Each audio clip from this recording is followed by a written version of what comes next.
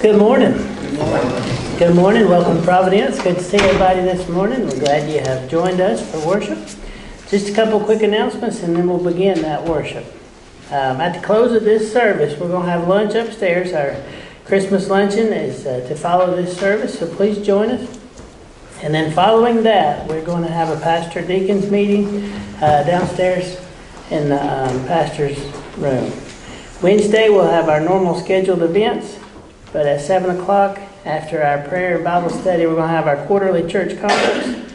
And then our homebound member is Miss Lou Jean Wall. There's Miss Lou Jean's address and her phone number. You can call or send her a card. Uh, but most importantly, we keep our homebound in our prayers. There's a couple of announcements there, uh, I mean, dates to take note of and our church contact information. If you need either Pastor Don or Pastor Sean, the uh, information is there, if you need Miss Linda. And then on the back is our pastor's pen, if you would, if you would take a moment to read that. Are there any other announcements I may have missed? If none, let's pray and we'll begin our service. Father, we do thank you for a wonderful, a wonderful morning to come out to uh, to study your word in Sunday school, but most importantly, Lord, we set this time aside to worship you, and as we worship you in song and in praise, Father, we we just pray that it is heartfelt. You take center stage in our worship. May our minds be focused on uh, what we're what we are thankful for as during our praise. And Father, as we open your word, um, we are most thankful that you have revealed yourself and uh, to your creation, and we thank you and praise you for that. Now, Father, we just pray that it, as this service moves forward, that our that our minds are clear, our hearts are ready. We thank you and we praise you. Amen. Amen. Good morning. Please stand with me.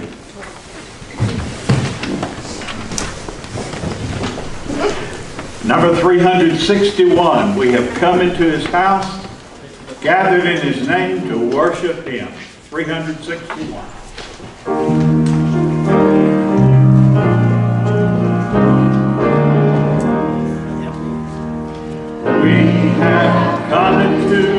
House, gathered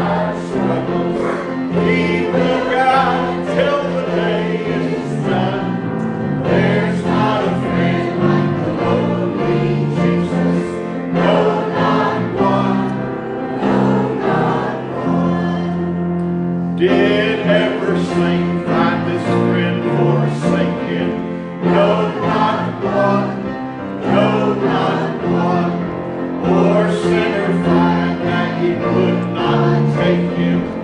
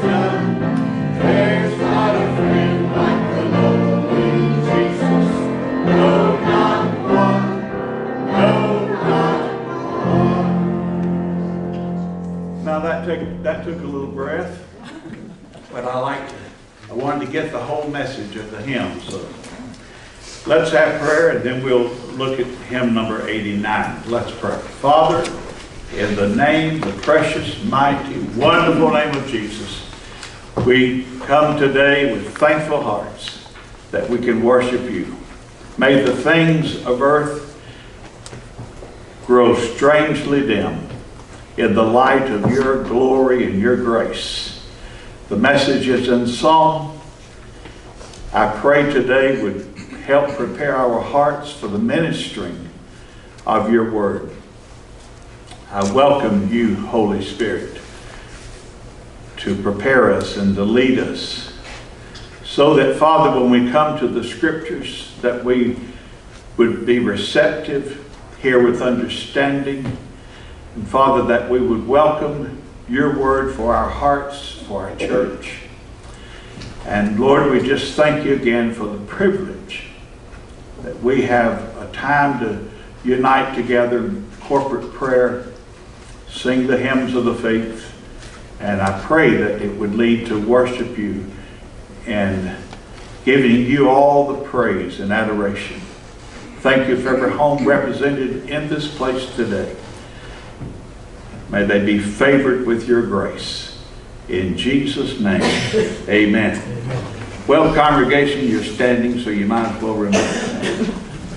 Let's do, O come all ye faithful, number 89.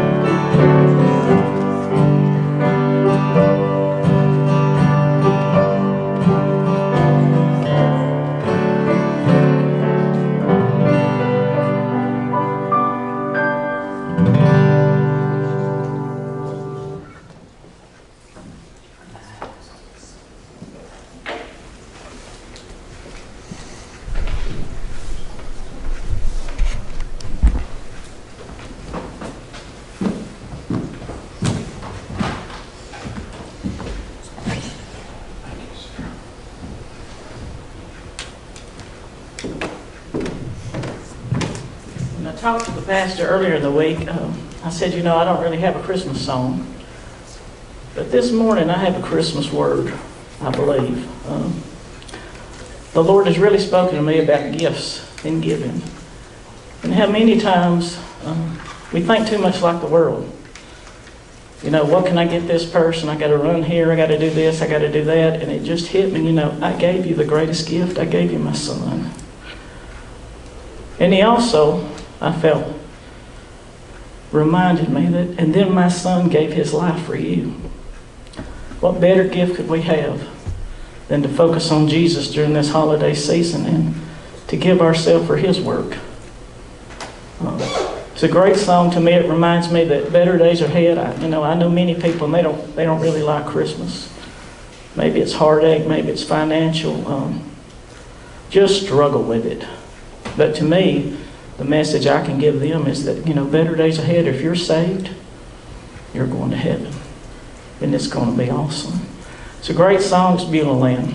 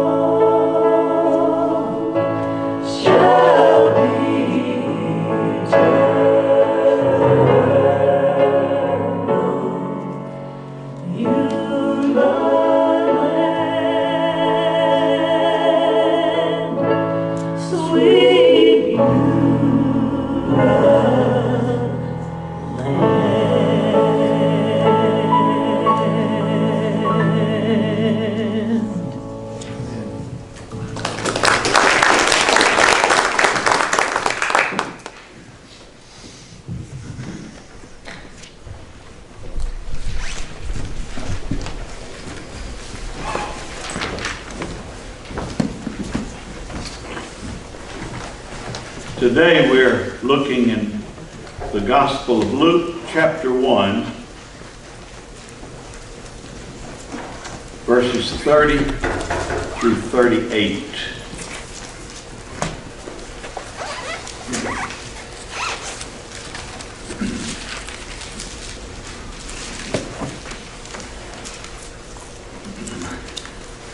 Luke chapter 1, verse 30.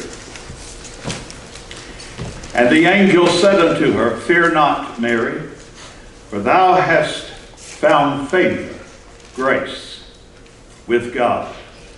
And behold, thou shalt conceive in thy womb, and bring forth a son, and shalt call his name Jesus. And he shall be great, and shall be called the Son of the Highest. And the Lord God shall give unto him the throne of his father David, and he shall reign over the house of Jacob forever, and of his kingdom there shall be no end. Then said Mary unto the angel, How shall this be, seeing I know not a man? And the angel answered and said unto her, The Holy Ghost shall come upon thee, and the power of the highest shall overshadow thee. Therefore also that holy thing which shall be born of thee shall be called the Son of God. And behold, thy cousin Elizabeth, she hath also conceived a son in her old age.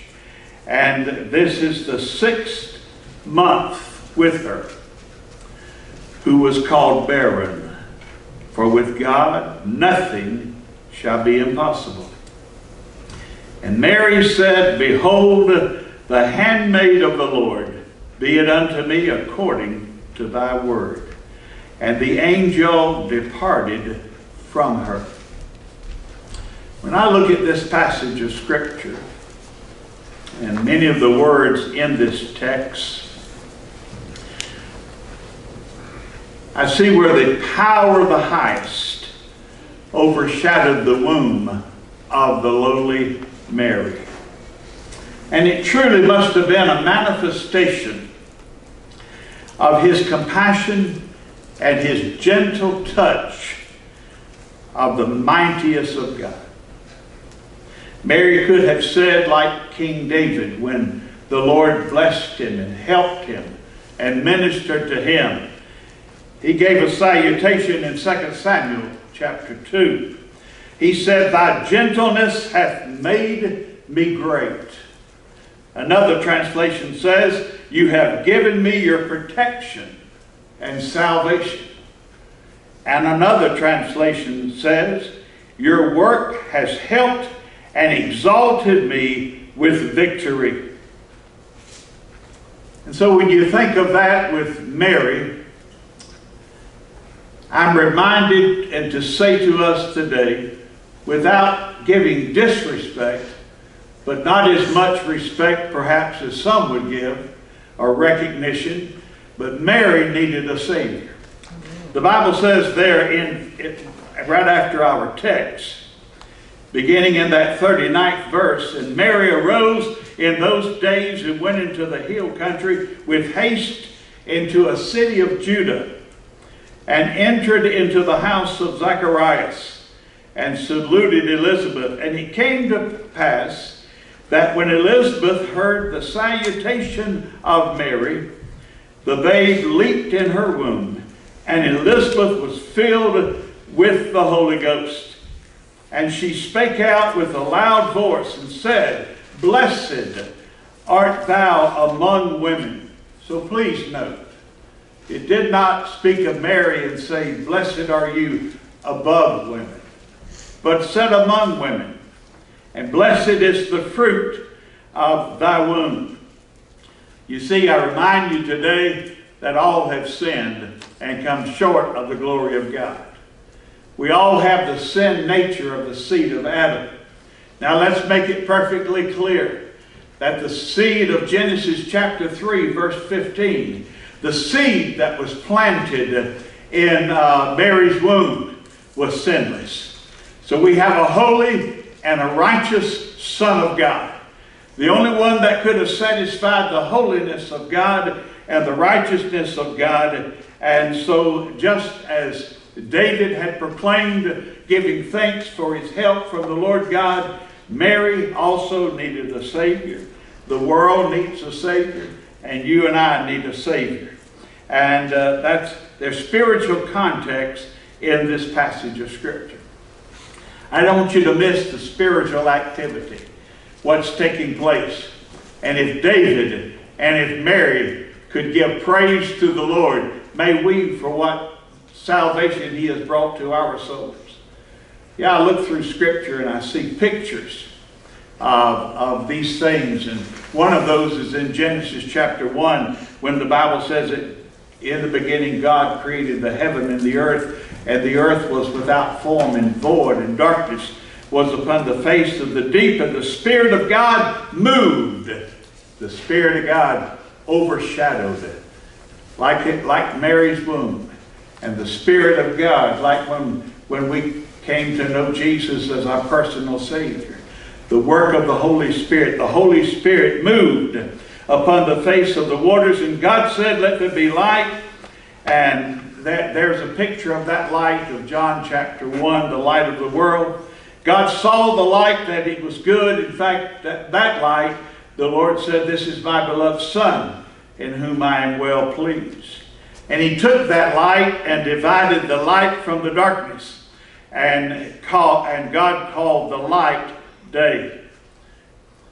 Paul gives us a, a, spiritual application when he talks about the creation of what God has done for us in 2 Corinthians chapter 5 verse 17.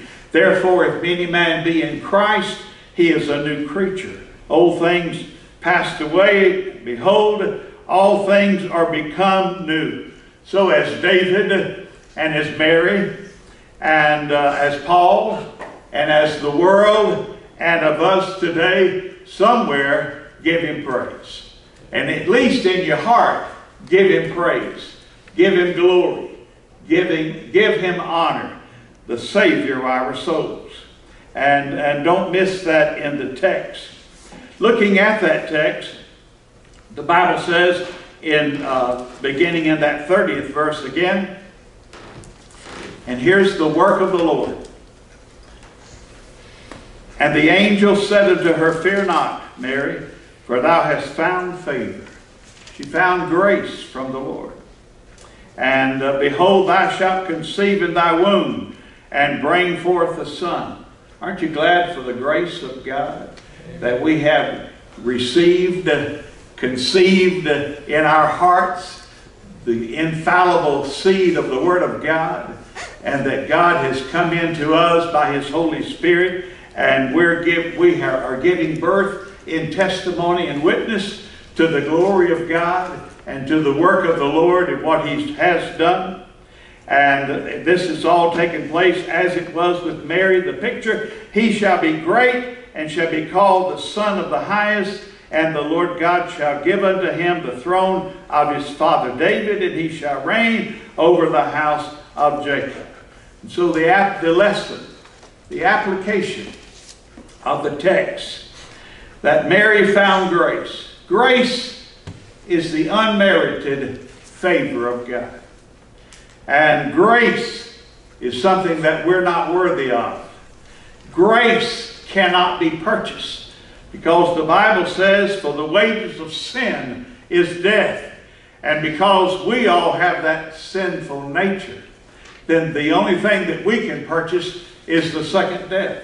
The only thing that we uh, can give all of our works and attention to would be things that would not give to us eternal life. But I'm thankful that Mary has received grace of God, which is a picture that we might see in the literal birth of the Son of God, that you and I, in spiritually receiving the Lord, stop today once again and recognize this is not anything that we can work for and purchase and and we may, we may think we can, and that's why so many people say I'm doing the best I can. I hope I make it. I'm trying to get to heaven. Well, if you want Christ to live in your heart, if you want the Lord to control your life, if you want Jesus into your soul, then you need to put your trust and your faith not in our, our labors, but in His labor alone. When this was told to Mary in giving the birth to the Christ child, Mary asked a question there in that 34th verse. Then said Mary unto the angel, How shall this be? I, I'm a young woman. I do not know a man. And uh, how can this be? This supernatural thing.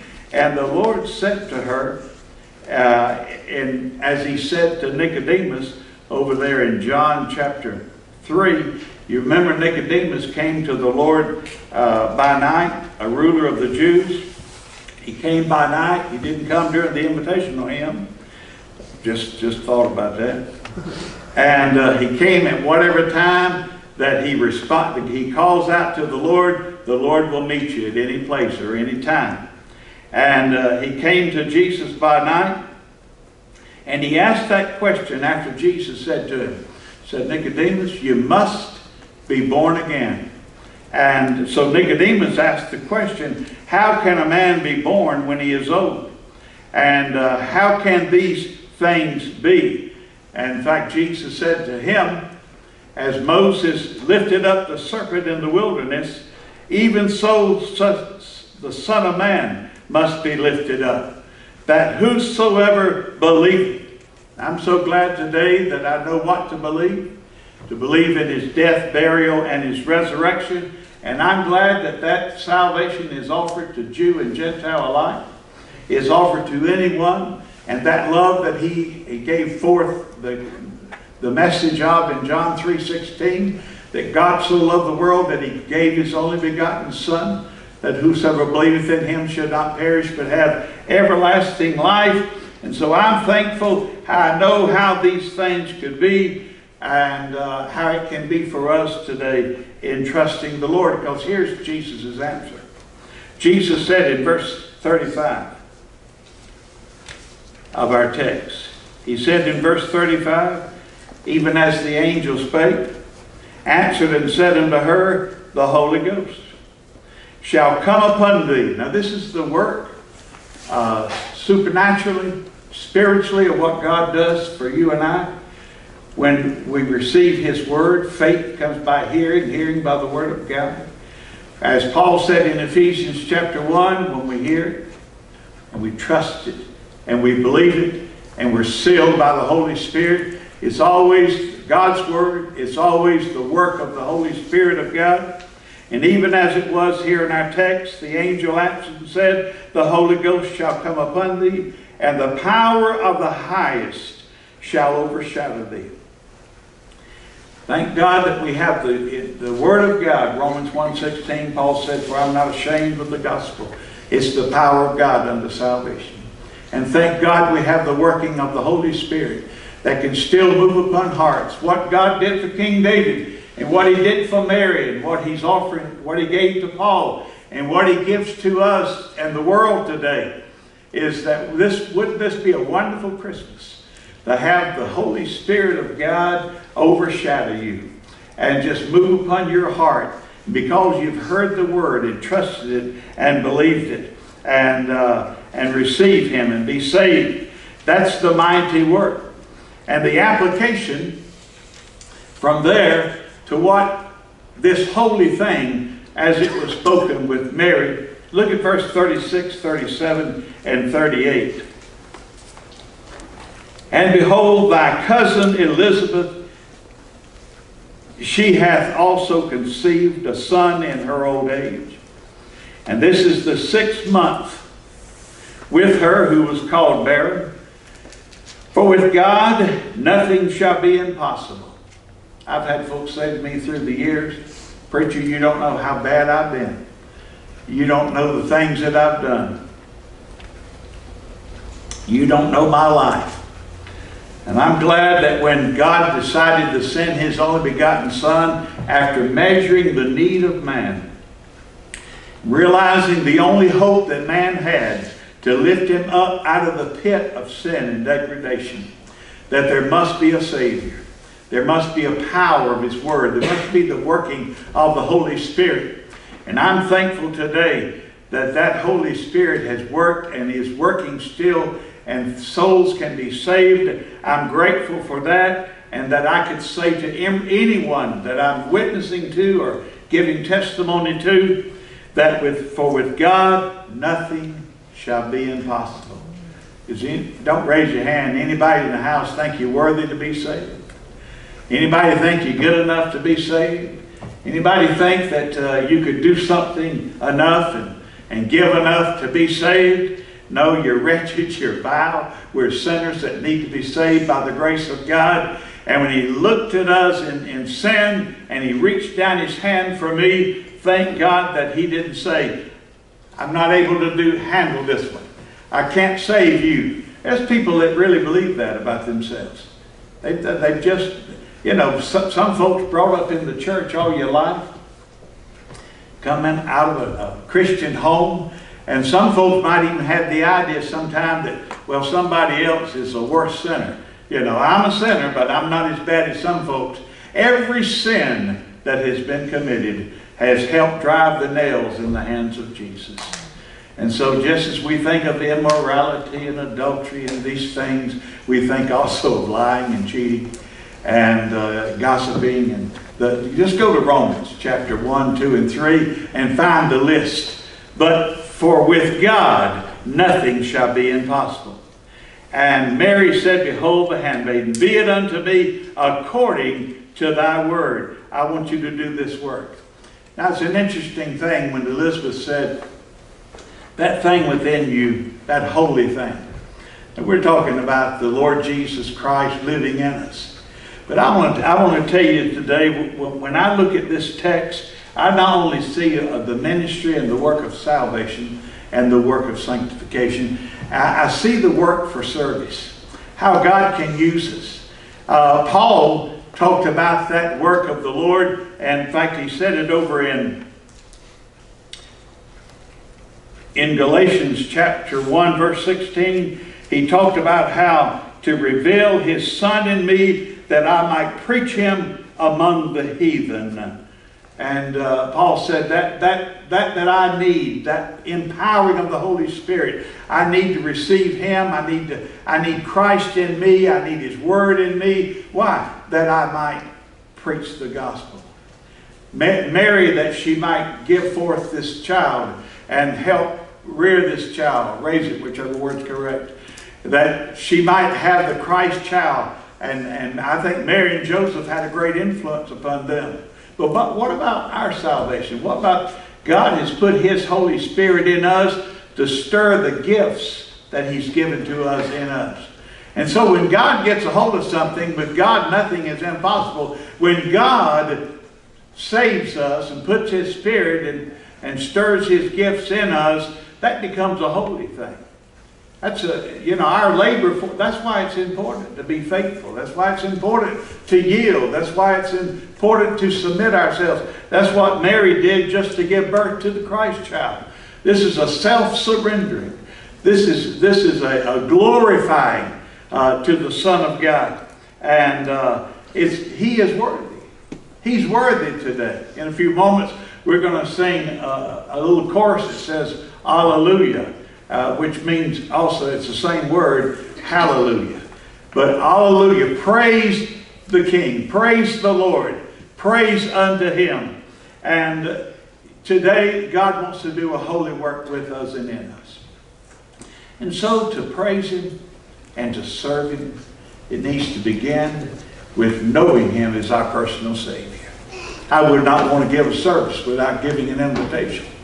And so the invitation today, if you're not saved, you're not sure of your salvation, you're not sure of uh, where you are with God, I, I invite you to think upon these scriptures. All have sinned, come short of the glory of God. There's none that doeth good, no, not one.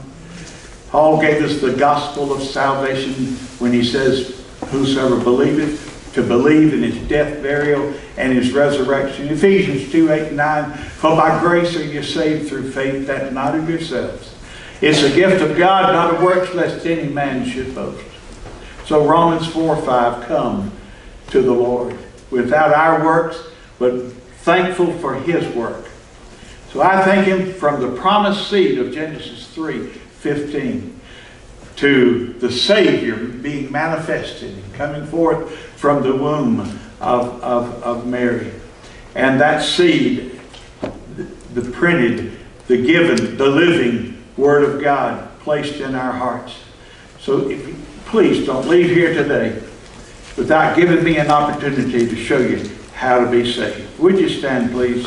Bow your heads in prayer as we make ready for the closing song. Lord Jesus, I thank you for this passage of Scripture, the simplicity of it, and yet the depths of it. What an awesome, awesome word that you have given to us from Genesis to Revelation. But Father, we thank you for these precious jewels and gems that we read, and as we read them over and over and through the years, thank you for the truths that you show to us as we grow in, in, in our faith and in our walk with you. I thank you, Father, for, for the word today. I pray it's found good soul. And it's our heart's desire, even as uh, others of old, others in our day have given praise to you. Father, in these next few moments, help us to sing this chorus unto you. Not sing about you, not sing to ourselves, not sing just to be singing. But Father, may this be a, a praise offering from our hearts to you. May we be like Mary when she broke open the alabaster box and, uh, and the aroma filled the, house. Father, may we uh, fill the house with, with your presence and your joy, and your peace and your love and your greatness. And not only in here, but when we leave these grounds this coming week. In Jesus' name, amen. Number 223. Hallelujah. 223.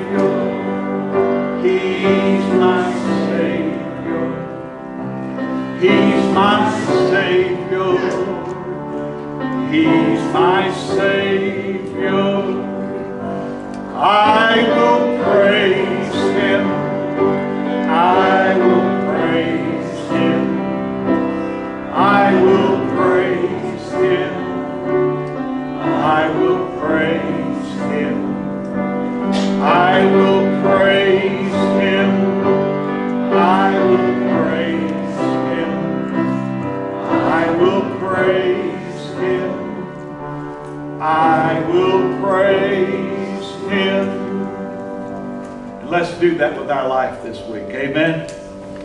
I hope you'll. Did somebody say amen? Thank you. I'll take it in a cry, a whisper, whatever. Oh, uh, give thanks unto the Lord. He hears our voice and our supplications. We hope that you'll stay and eat with us today. We would like for you to. You're invited to. And Sean, when you come to give our closing prayer, give thanks for the meal, please.